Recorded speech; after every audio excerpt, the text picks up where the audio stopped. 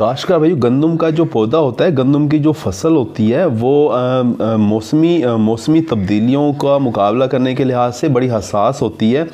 आ, लेकिन जो अनाज 2017 अनाज सतारह जो वैरायटी है ये मौसमी तगैरत को बड़े अच्छे तरीके से इसका मुकाबला करती है और इसकी पैदावारी सलाहियत जो है वो तिहत्तर मनफी एकड़ के हिसाब से बताई जाती है।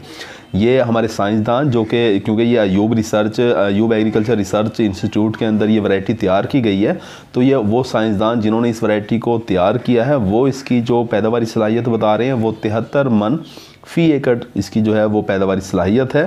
बसमीम अल्लाम काशकार भाइयों, आज हम गंदम की वैरायटी अनाज सतारह अनाज सतारा के बारे में आज हम बात करेंगे। इसकी खसूसियात क्या क्या हैं? इसकी जो है वो खादों की ज़रूरियात क्या क्या हैं? कितनी खाद इसे चाहिए होती है?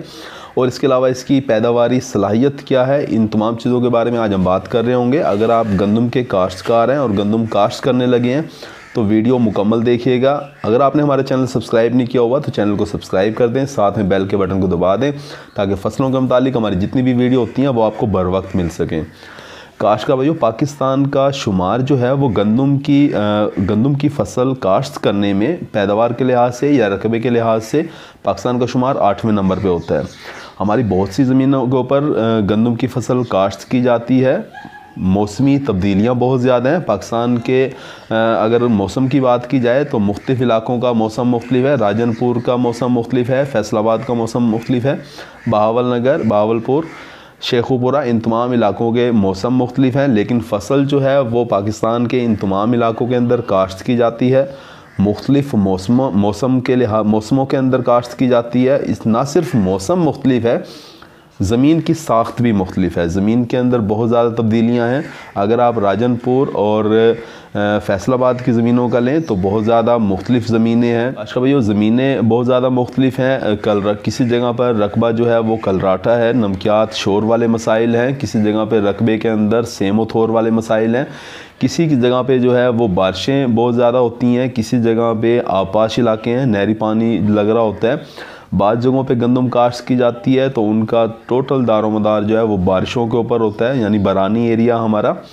ये तो ये तमाम इलाके जिनके अंदर मौसम मुख्तलिफ़ हैं, जिनके अंदर जो है वो ज़मीनी साख्त मुख्तलिफ़ है, ज़मीन की ज़रखेज़ी मुख्तलिफ़ है, मुख्तलिफ़ जगह पे मुख्तलिफ़ ज़रखेज़ी का लेवल है।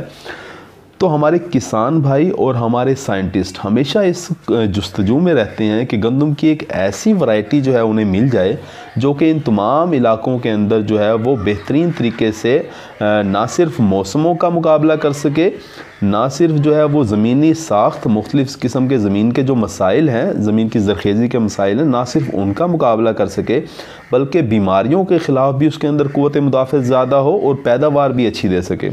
तो ऐसी वैरायटी की जस्तजू में हमारे साइंसदान हमेशा रहते हैं और वो हर साल जो है वो नित नई वैरायटी गंदम की वो मुतारफ़ करा रहे होते हैं।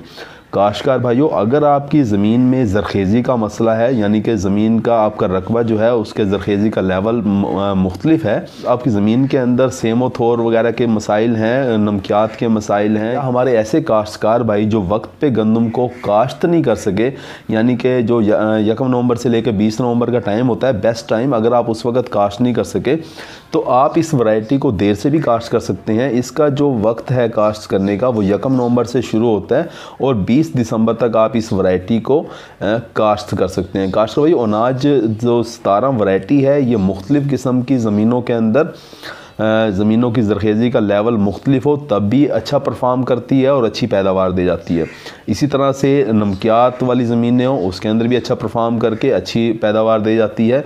ना सिर्फ़ ज़मीनों के मसाइल को अच्छे तरीके से उनका मुकाबला करती है, बल्कि जो मौसमी तगैरत होती हैं, मौसम बदल रहा होता है, उनका भी बड़े अच्छे तरीके से मुकाबला कर रही होती है। इसके अलावा काशकार भाइयों, ऐसा मौसम जो कि बीमारियों के लिए साजगार होता है और जिसके अंदर कुंगी की बीमारी, रस्ट की बीमारी जो है वो हमलावर हो रही होती है तो उसके, उस मौसम का भी मुकाबला करके, उन बीमारियों का भी मुकाबला करके इसके अंदर क़वत मुदाफ़ ज़्यादा है, फिर भी अच्छी पैदावार दे जाती है। काशकार भाई, गंदम का जो पौधा होता है, गंदम की जो फ़सल होती है, वो मौसमी मौसमी तब्दीलियों का मुकाबला करने के लिहाज से बड़ी हसास होती है।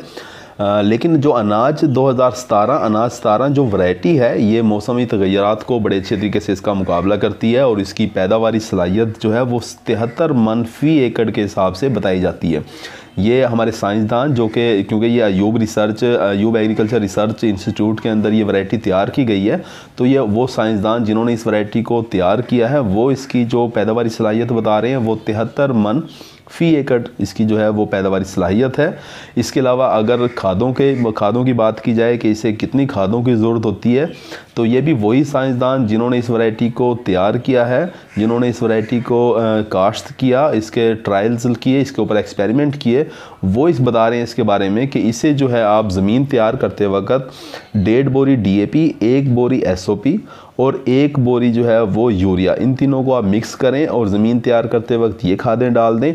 इसके बाद जब पहला पानी आप 20 बाईस 25 दिन के बाद लगा रहे हों तो उस वक्त आप पौनी बोरी यूरिया जो है वो इस वो इस पौनी बोरी यूरिया खाद जो है वो इस वैरायटी को दे और इसकी, इस तरह से जो है इसकी जो ज़रूरियात है, इसकी खुराक की ज़रूरियात, इसकी वो मुकम्मल हो जाती है।